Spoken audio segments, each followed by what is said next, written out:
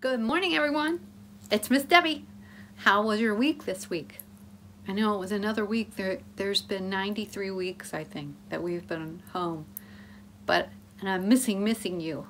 I hope everybody is well and you're still in a, in a good frame of mind as we walk through all of these days together separately.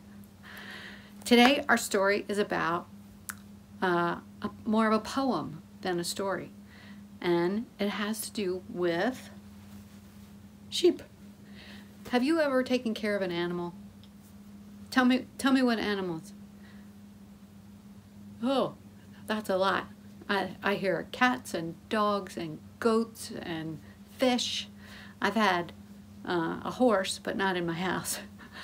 But today's story about is about the care and and comfort that we find in our Lord who takes care of us the way our, our friend David took care of his sheep.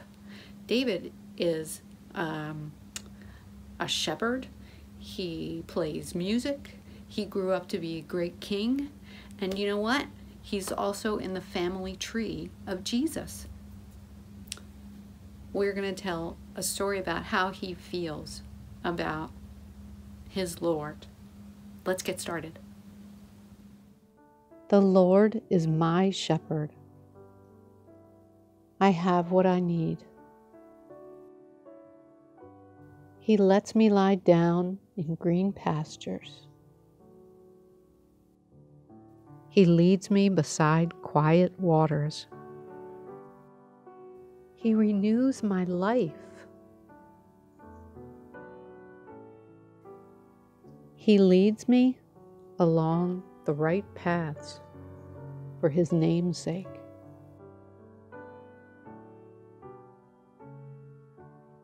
Even when I go through the darkest valley, I fear no danger, for you are with me. Thy rod and thy staff, they comfort me.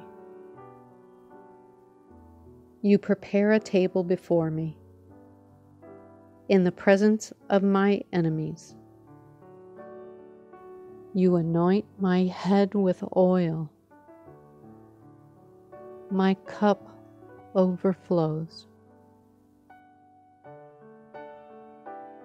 Surely goodness and mercy shall follow me all the days of my life and I will dwell in the house of the Lord forever.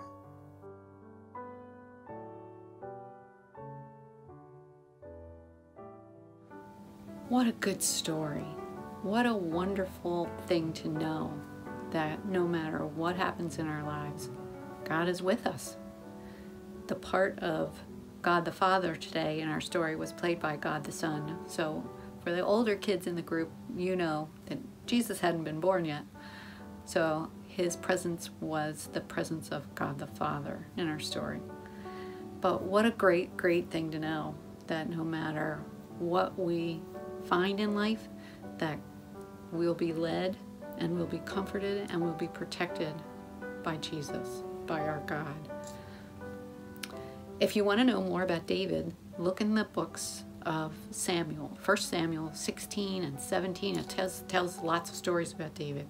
David and Goliath, David and his friend, John, his friend Jonathan, um, the story of King Saul. There's so many things about David that we know. And throughout his whole life, David kept coming back to God, thankful for the love and care that he received from God, no matter what he did, no matter what he went through in life. How about if we all say a prayer? Is everybody? Everybody's all right everybody's good? All right fold your hands we'll say a prayer. God of comfort thank you for david for his songs for his poems. His thoughts are so clear and his experiences are the same as ours. He had a long life full of good things and bad things but he still sings about his love and thankfulness for the care that you provided for him Surely goodness and mercy are following us today, and we have all that we need. May we keep those words in our hearts In all of this, we pray in Jesus' name. Amen. Have a good week, everyone. Take good care of yourselves. See you next time.